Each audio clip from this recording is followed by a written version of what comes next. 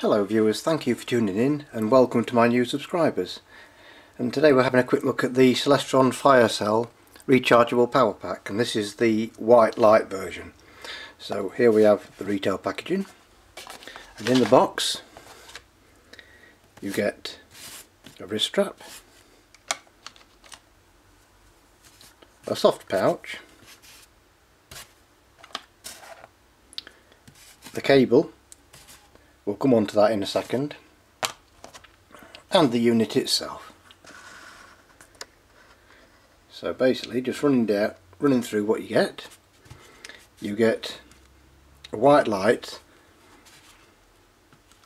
which is either steady or constant and when you put it on you'll see three lights light up that shows that it's nearly fully charged there's four lights when it's fully charged on the other side you have a charge setting for charging your smartphone or, or other mobile device. Hand warmer setting 1 and hand warmer setting 2 and it does warm up your hands up to 3 hours. And so showed you how to use the light. The hand warmer settings that heat up this plate here and so coming onto the cable like I said I would.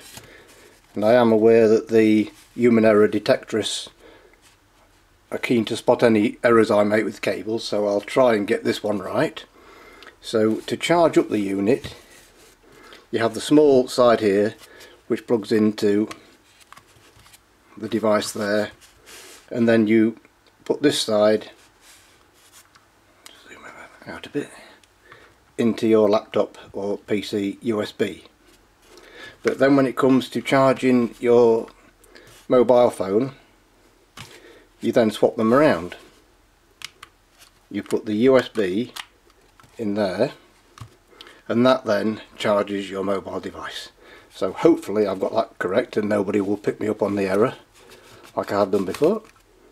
So this is available in red light as well but this is the white light version so I hope that helps. Thank you very much for watching and as always please subscribe to my channel.